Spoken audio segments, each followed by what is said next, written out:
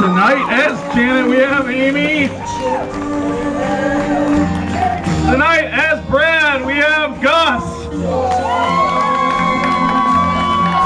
Tonight as Riff Raff, we had Ben.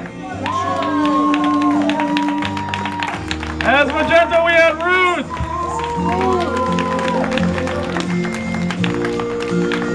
As Columbia, we had Naki. As Scott, we had a Jew. As Rocky Horror, we had Geo. As Eddie, we had Ron. As the criminologist, we had Jared.